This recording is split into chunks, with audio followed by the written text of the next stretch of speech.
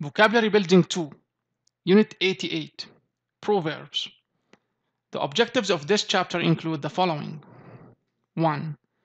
To learn words related to Proverbs. 2. To use these words in meaningful sentences.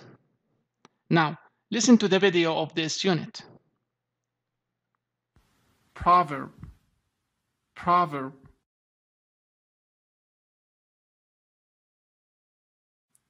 Morals. Morals.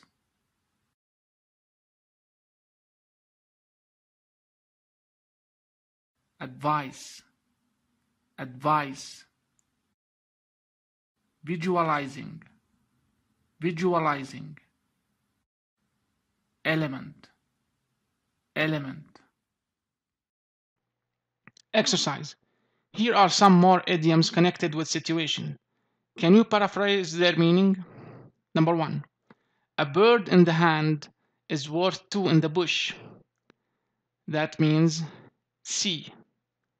Never look a gift horse in the mouth. Number two. All that glitters is not gold. That means to never judge a book by its cover. A. Number three. Absence makes the heart grow fonder.